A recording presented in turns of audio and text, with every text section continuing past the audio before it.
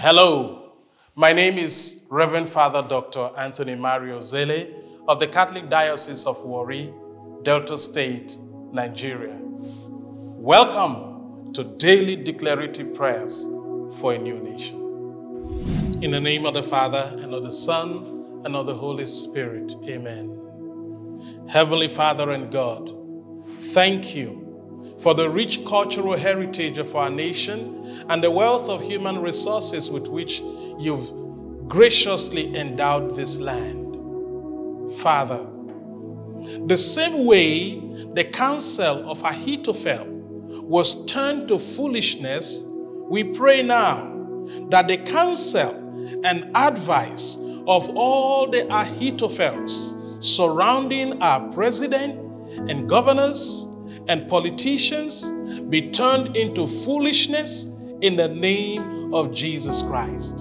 And raise up for us, O Lord, in our land, godly counselors who hold the interest of the people uppermost in their hearts, above all else, with fear for God.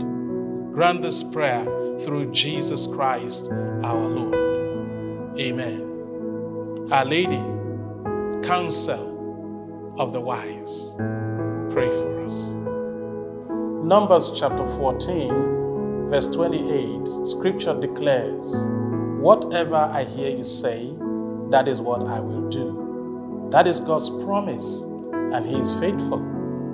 These declarative prayers are about believers joining us with one voice to speak into the fabric of our nations so that the Spirit of God may prevail over national affairs, especially governance.